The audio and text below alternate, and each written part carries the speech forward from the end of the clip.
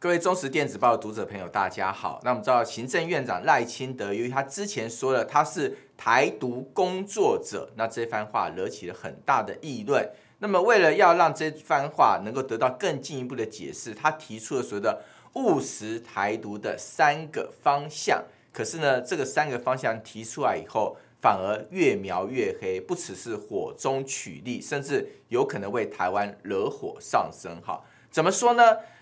戴清德所谓的务实台独的三个方向，其中第一个方向，他讲的是什么？他讲的是台湾是一个主权独立的国家，那么所以他不需要再宣布台湾独立。诶，这句话听起来到底哪里有问题呢？关键在台湾不是主权独立的国家，谁是主权独立的国家？是中华民国。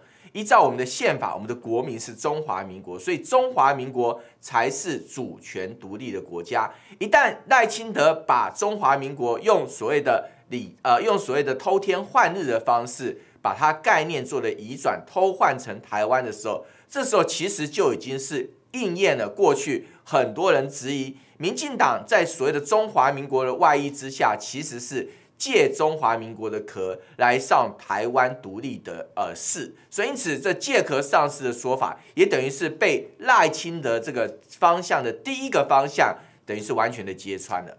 那么第一个方向错了之后，接下来其他的有关于其他的方向，也就出现了很多问题。比方说他的第二个方向讲的是什么？他说台湾的前途应该有两千三百万的台湾人民啊一起来共同决定，其他人都不能决定。以主观意愿来说的话，这句话当然大家都希望我们的前途由我们自己来决定。可是实际上放映在国际现实当中的话，像两岸关系真正的情况是必须是由中华民国跟中华人民共和国来共议所谓的将来两岸的一个未来跟前途。一旦只要任何一方面片面的去决定说，哎。台湾的一个方向统或独的话，那么都是一个未来的大灾难。我讲一个例子来比方，大家就比较清楚哈。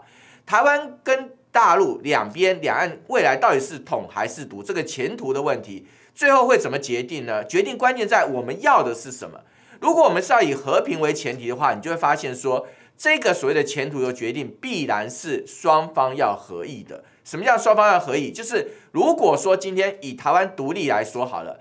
台湾要独立的前提是什么？当然，台湾人民要同意。台湾人民同意之后，台湾才有独立的可能性。可是呢，同时也必须由大陆的人民也必须要同意。如果大陆人民、中共或是呃对岸不同意的话，这时候一个所谓片面的你决定台湾独立，当然带来的是什么？带来的就是所谓的武力解决的问题，也就不会是和平的问题。那同样的，相反，如果是两岸要统一的话，不单是大陆人民要同意，他有这个意愿，台湾人民也必须要同意，否则台湾人民不同意的话，大陆要统一台湾也只剩下一条路，就是武力犯台。因此，在和平的前提之下的话，所谓台湾的前途，当然应该是大家一起来合意的。因此，如果你只要片面窄化成所谓的两千三百万人来片面决定前途的话，这句话听起来大家可能觉得，哎，当然我们的前途我们自己决定，但是。